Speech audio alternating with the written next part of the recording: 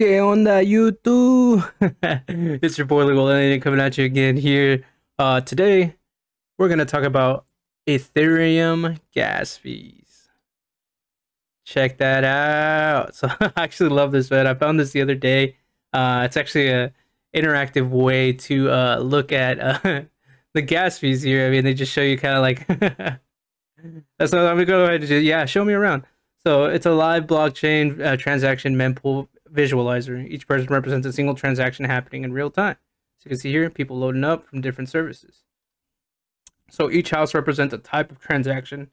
And then uh, we're going to click through those just to kind of look at them. Uh, each bus uh, represents a future block. First bus leaves when the block is found. So that's, uh, again, with mining, every block, that's how they get paid. So click the coin name button at the top to change streets. So uh, this uh, okay, the tutorial's over. so this one shows you different uh, chains too. You can look at Bitcoin, Bitcoin Cash, Monero, Litecoin. I am personally uh, all in on Ethereum.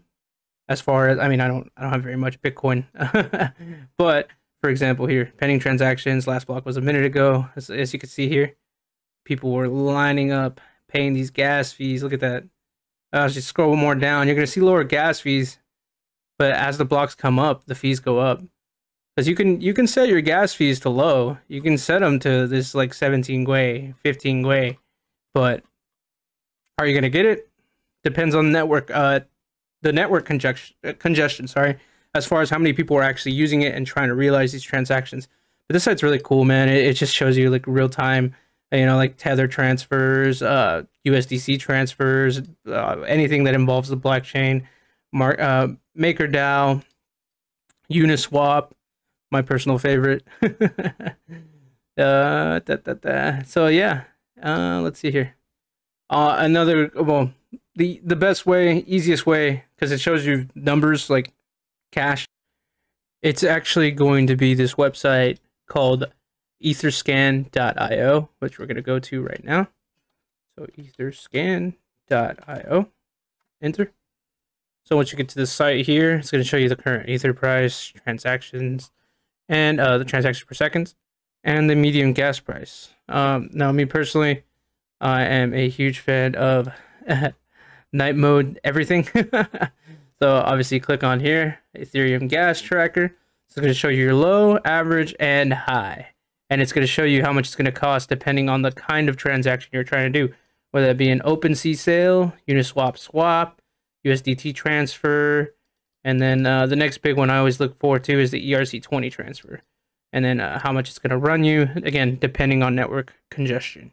So, uh, and then fees, obviously they change literally every, uh, like right here, was it refreshing every 14 seconds?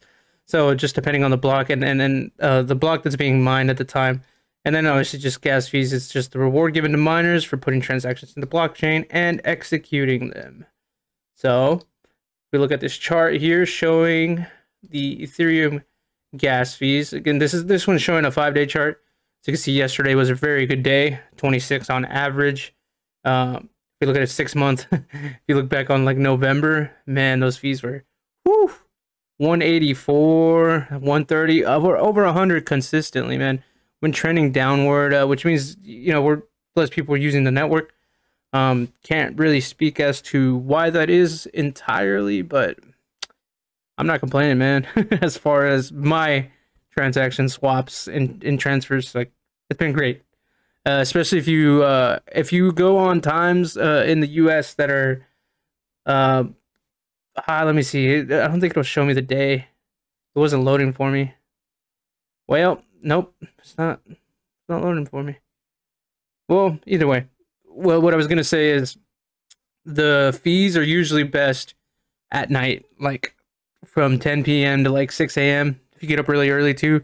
Like I know the other day I had a, I had multiple transactions done where it was like 14 gwei, and I was paying like eight bucks, eight ten bucks for a swap, 15 on the high end, and like a dollar or two dollars for a transfer.